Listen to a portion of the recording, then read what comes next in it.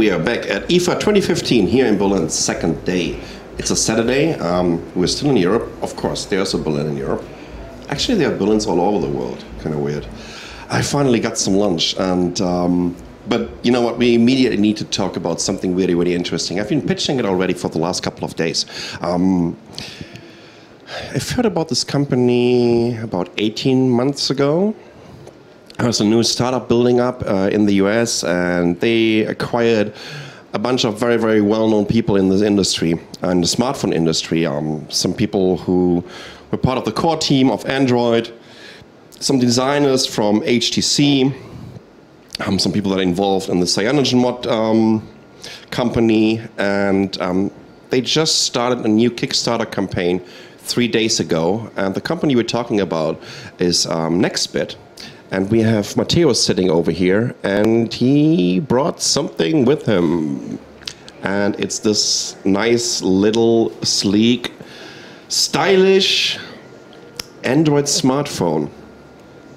I'm not even sure if we should call it an Android smartphone. It's still running Android, but it's quite different, isn't it? Uh, yes, it is. Like I think, like at this moment, we, the way we talk about it, and just for the record, I'm not an official Nextbit person. Yeah. I um, I just like these people so much, and they just gave me this T-shirt and this EVT, and and you know, like I like the community, what we're trying to do so much. And the, phone, the the way they build this phone, it's it's a first cloud phone, and and it's the first design-centric, consumer-centric smartphone they want to build. Okay, so what, what, does that mean, a cloud phone? So what's what's different about it? Um, and the the way uh, the founders and the team think about this is is that for in the last two three years there was not much innovation on mm. on, on, the Android and iOS right. um, handset scene. And the way what they want to do now is actually tackle some of the big problems and really, really innovate on. And the first problem they wanted to tackle is storage. Um, I don't know, like I talk to ga gamers here at IFA. You're, that's your typical problem. I play Angry Birds. I really, really progress quite a bit. And then I really don't want to update my phone, right? You, you run into storage problems and, and also like, like, you know, you're at, you're at a music festival and you know you want to take a uh, photo and sorry you can't right yeah. because you just ran out of storage yeah. so what we built in the first step is uh, a phone which which has unlimited storage mm -hmm. and the way it works is is for example if you haven't used a couple of your apps after some time say for example six months the APK gets uploaded to the cloud. Okay. If you have not used some of the pictures on your phone for a while, it becomes a thumbnail, and the pictures itself is uploaded in the cloud. So it's basically kind of measuring or tracking my usage scenario, um, what kind of apps I use on a frequent base, and if I'm not using them for a couple of weeks or months or so, it tries to outsource them into the cloud. Um, yeah, th that's exactly what it does as, as a first step on in in the um, on on on the software level. Yeah. And you know, like when you look at it, you know, it also looks very very differently. Um, it's you know, it has a very very different design. It's it's a lot of lines. Uh, it it has multiple colors. Right. Uh, you know, you have you see these circles like people I've talked to compare it to very, very like minimalist early Braun design. Right. Totally. Um, you see these little dots here when the upload's happening it starts to blink. Yeah. Um, it's i think people really really get that this is like people trying to do that the Nextbit guys are trying to build something very different here. And what's also cool from the can i just hold it for a second? When you see that from from the front um, you see those um, those front facing stereo speakers like on the on, on, the top and on the bottom? Um, so they're kind of round and uh, it looks in general completely different. It looks like no other phone that is out there, which is quite difficult to achieve um, when you look at all these smartphone designs. Like you said already, it, it, it reminds you of a very minimalistic Braun design, and uh, um, it's even though that this is just, of course, it's just a mock-up and and and, and a non-working uh, dummy, but you already get an idea of the look and feel um, of this phone. Um, so they started a Kickstarter campaign. I think it was like three days ago. Yeah. And or, or four days ago, and I think they wanted to they wanted to get like 500,000 US dollars. And well, what's what's just the latest update on it? I think I, I looked this morning and it was over 800k. Okay, there you go. Right, so uh, And, and that was really what about. Like I think the Kickstarter campaign for the guys had a couple of of, of, of goals. The first one, they Yeah. really wanted to, you know, get their ideas out there and get feedback on it.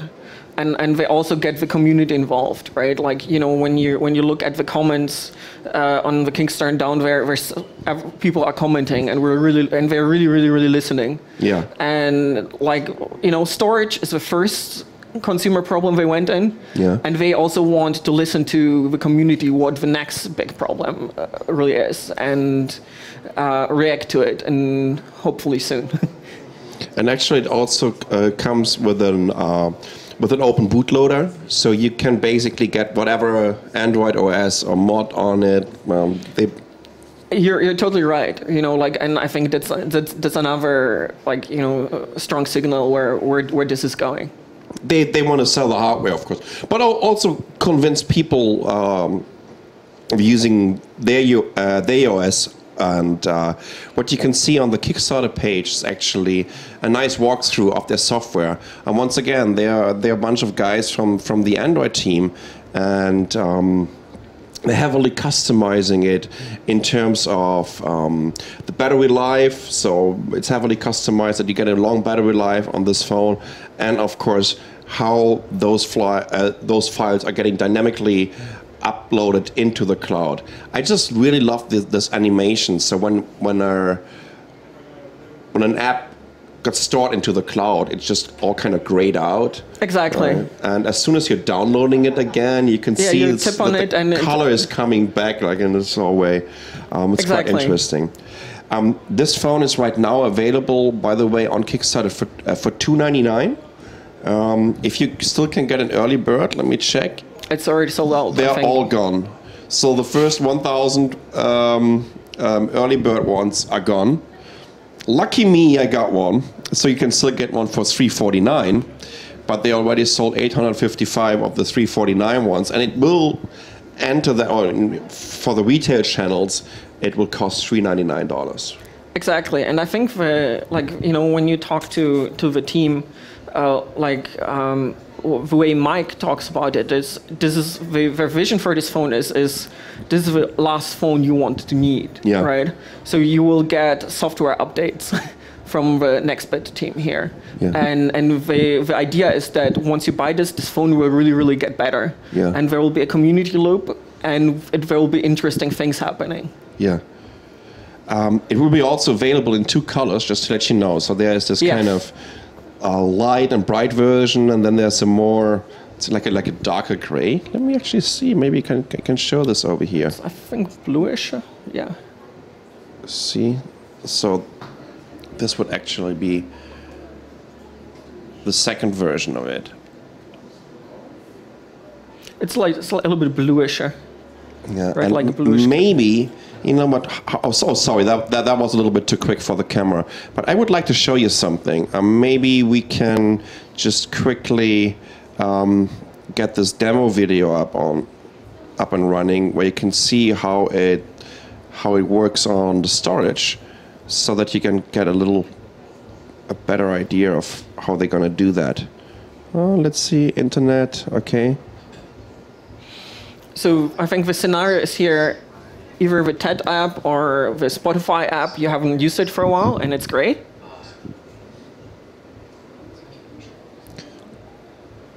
And There we go.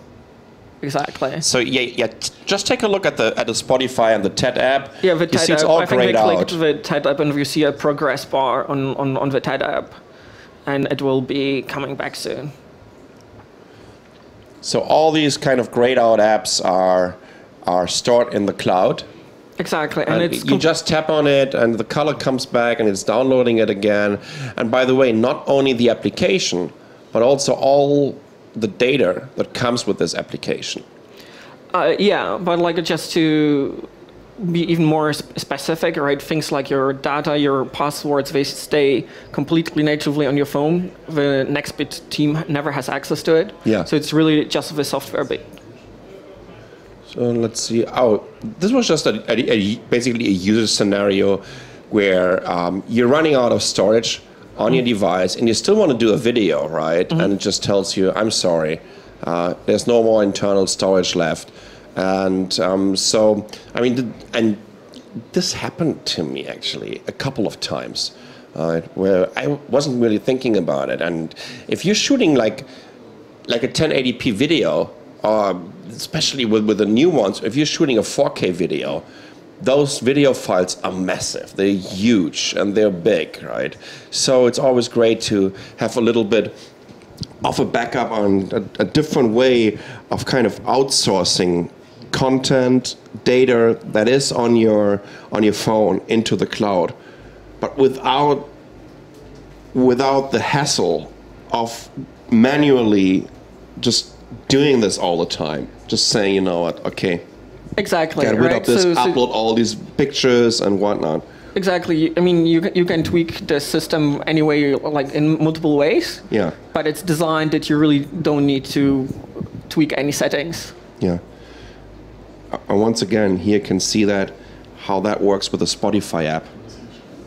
Um, he was just uh, he's just about to download um, the Spotify app here. See that? Uh, here we go. So remember how gray the Spotify app looked like about 30 seconds ago, and now it's getting its color back until, and there we are. So now it's just uh, fully installed again. And what you can see over here is actually a little little control panel where um, Your offloaded apps are Yeah. on it, yeah. and you could you could also uh, kind of pin apps when, when, you, when you think like you know what there are some specific and very very important apps Yeah. that I don't want to offload into the cloud so that you can keep them. Exactly. right? So you can tweak this, right? Um, but like it's it's designed that you actually don't need to.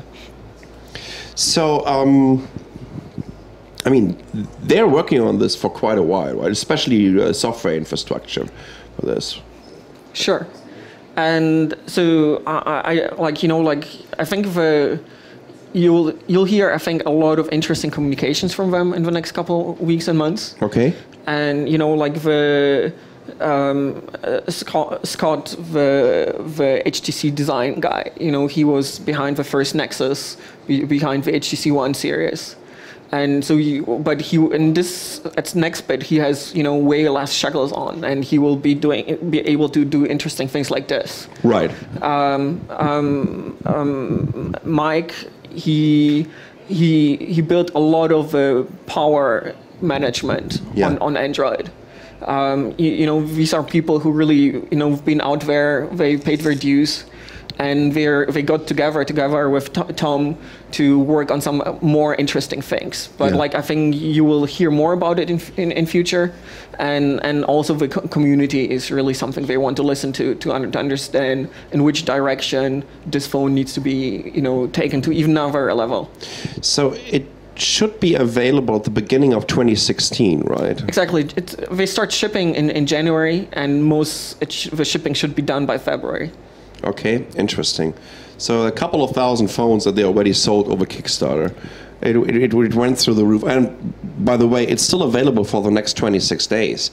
You can still get one of these 349 uh, phones. Do you know about about the other specification? And you know what? I actually have no. Idea. I think it's it's, it's running on a Snapdragon 808, Yes, and this is a 5 point 5.5 inch. I sure. think 5.2 if I remember correctly, but Oh, don't yeah. nail me down on this. that that that makes sense. I think there was like you know there was a big um, like launch party in San Francisco on on Thursday. Okay. And and I think there was a great um, background piece yesterday with uh, um, where Scott discussed some of his design Yeah. decisions. Um, for fans, check it out. I think Yeah. you really good get a good flavor of how the team is thinking about some of the choices and how inclusive they want to be with the community. So it has a 30 megapixel camera on the back. There's a 5 mm-hmm. megapixel camera on the front. 2680 um, battery. Uh, it comes with a fingerprint sensor and NFC. It has quick charging, and it also has um, a USB Type C connector, as far as I know. Um, it's only seven millimeters thick and weighs around 150 grams. Um, three gigabytes of RAM and 30 gigabyte of internal storage. But as soon as you're buying this phone, you're getting 100 gigabyte of cloud storage, which is definitely good enough to really outsource a bunch of apps.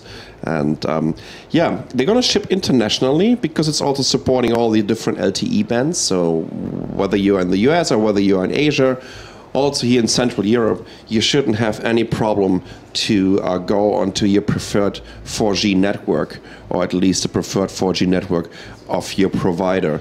Um, besides that, it's just um, seriously, I just can't wait to to see the the, the working the working version and working model of it and to play around with it because once again this is a completely different approach to to smartphones in general agree. Like, like you know, like I, um, I've known Tom uh, as a founder for, for some time, and we were gr- grabbing coffee, and I really got excited in this as a project. Yeah. Like for me, as as you know, I'm not as hardware geek as you are. Yeah. But like, what really really excites me is that you to have like a really consumer centric development process on software. Yeah. This is I, am it blows me away. It's like yeah. why I'm here with this T-shirt and this phone yeah. in my hand because I'm so excited about it. Yeah, pretty cool. Um, once again, if you want to get to know more about this, if you just Google Nextbit, and you will find the Kickstarter campaign, and then you should check it out. There are there's so much information on the Kickstarter campaign. You can see more pictures of this phone and you can watch the videos. They have two videos up. One video that is just um, telling you the story about the team and the people that are involved in this. And there's a second video that explain that explains the software and this is very, very unique. And once again, I just can't wait to see, um, you know, what, what, what device they, they're about to bring to the market. And this is going to happen in January. I've backed it up right away, as I said. And um, I think, you know, just, I mean, the look and feel of this device is so appealing, right? It is, it is so different from anything that I saw out there. Plus, on top of it this idea of yeah dynamically outsourcing content and and apps um, that I don't need. Um, that is really smart. Um, I, I, agree, right? And I, I think, like as mentioned, everyone who buys this on Kickstarter, you know, like expect this phone even to be better six months from now because like you know you I think it will be you you know in the next couple of weeks and months you will hear in, in Kickstarter and and you know and with talk by talking to people like you you know there will be a lot of engagement about how a really innovative smart Android smartphone should really look like yeah. and what this really really great team can do with it. Absolutely seriously, can't wait to check it out. Matthäus, thank you so much for joining us here at the Tech Lounge. We are about to have a little break right now. Going to show you some um, some show floor footage or some hands-ons, and uh, I'm pretty sure um, that the guys in the back end will find something interesting for you. And then we're going to be back um, in roughly about 10 minutes and then it's all about the connected home, about appliances. Uh, we're going to talk to um, Electrolux, which is part of AEG, one of the biggest brands in appliances globally. Um, it is uh, a huge, it's not a huge trend, it is just a huge industry. And it's a connected industry, and it's an industry that goes through a, a transformation, and it's quite interesting to see, you know, what, what, what they will announce over here and what they have to show. So um, stay tuned, and I'll see you soon.